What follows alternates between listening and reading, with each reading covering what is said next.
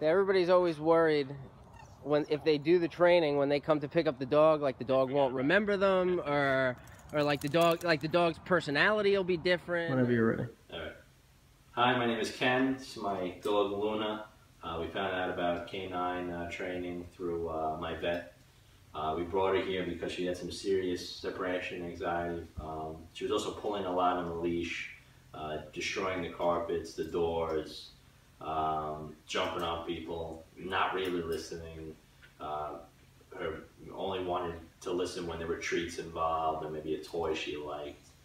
Um, and now, now that we got her back we saw everything that she can do, she's paying attention to me way better. My sister as well as the other owner. Um, you know, she's she's listening to commands a lot better.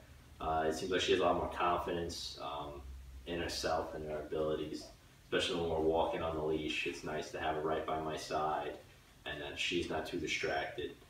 Um, and we're happy to have her back. Awesome.